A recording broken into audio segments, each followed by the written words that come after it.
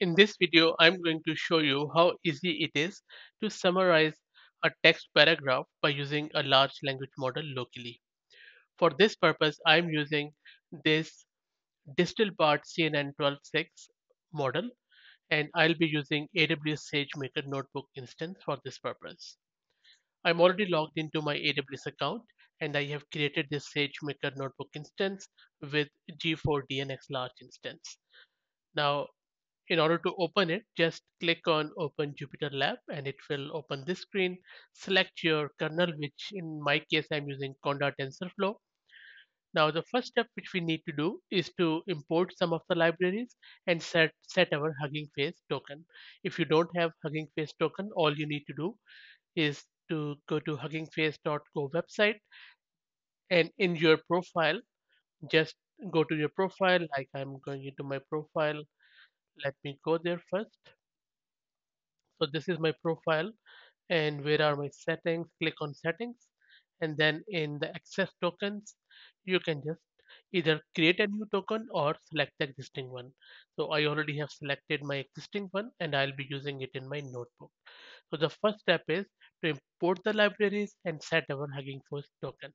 So let me do that. So i have imported these libraries in this cell and this is where you need to replace your token. The next step is to install the transformer module. So I'm using exclamation mark before this pip command and this direct shows that it is installing. So it is fairly quick. So let's wait for it to finish. Doesn't take too long. That's done. In the next step, we are going to import the pipeline and then specify the model which we are going to use. So we are again we are using the CNN model, and this is um, the website of this model or the page from the Hugging Face where there is all the detail, and this is from CNN and a very lightweight model. Okay, so let me run this one. So when we run this, what would happen is that this model will be downloaded locally and then it will initialize it and from there we can give it a text to summarize. And as a sample, what I have done is I have just taken this abstract from this paper from arXiv, and I'll be using this abstract text to summarize. Let's wait for this to finish. So the model has been downloaded. In the next step, let's try it out with a text paragraph, which I just showed you.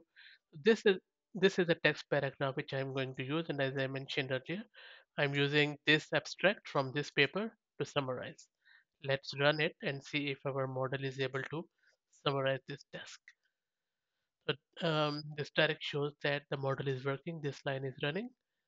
So let's wait for it to finish. It finished and you can see that it has provided us this uh, three liner summary of that paper and uh, I already have read this and if you read this one this is pretty close. Not I won't say it is ideal or perfect but pretty close.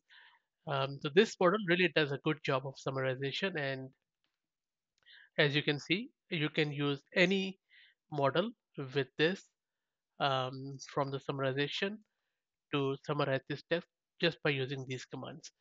I will also um, post these commands in my blog and I will drop the link in video description so that you can follow along. I hope that this was useful. Uh, if you like the content, please consider subscribing to the channel. Thank you very much.